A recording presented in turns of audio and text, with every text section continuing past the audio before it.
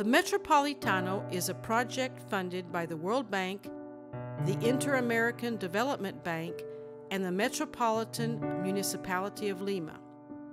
Its construction started in 2006 and it was completed in 2010, costing more than $133 million, of which the World Bank provided about $47 million.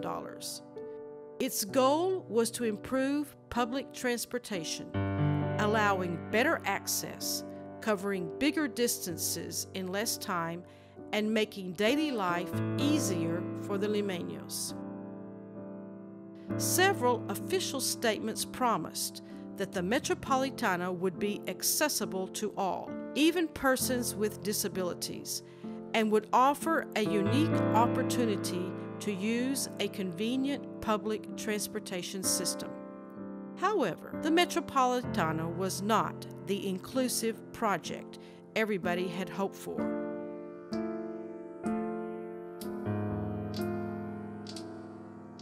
Of the 168 feeder buses, only 24 have ramps and space for wheelchairs.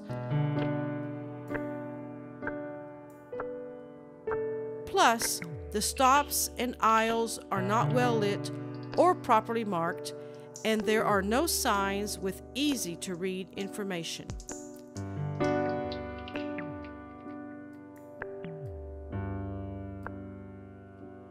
The stairs are narrow and most of the surrounding streets are inaccessible.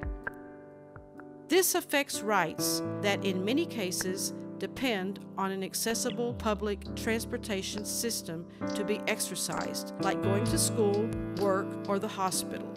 Transportation for all means that nobody should be discriminated against when it comes to leaving the house. If only the World Bank would have included disability in its safeguard policies, it would have prevented persons with disabilities from being excluded from the only clean, fast, and safe public transportation system in Lima.